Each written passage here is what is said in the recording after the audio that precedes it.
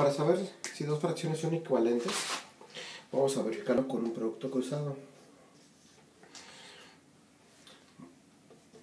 Quiere decir que una fracción con diferente número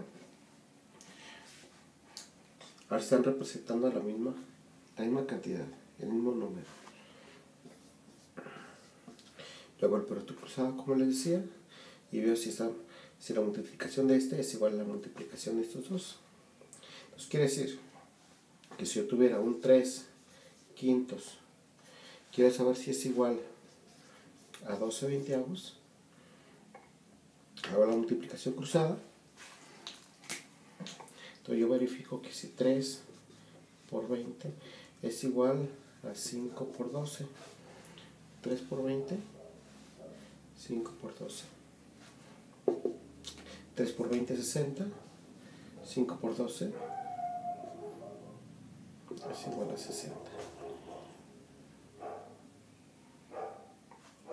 Entonces ya veo que esta fracción sí es equivalente. Vamos a ver otro, otro ejemplo. Por ejemplo, si tuviera 4 séptimos es igual a 12 sobre x. ¿Yo cómo puedo verificar? Pues hacemos, hacemos lo mismo, quiere decir que 4 por x y 5 por 12. 4 por x es igual a 7 por 12. Lo hacemos exactamente igual. Entonces aquí hacemos la multiplicación. 4x es igual a 12 por 7 son 84 x es igual a 84 entre 4. Es igual a eh, 21.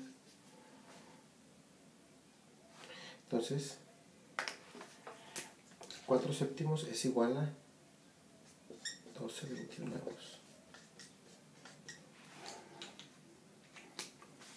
es como lo sacamos.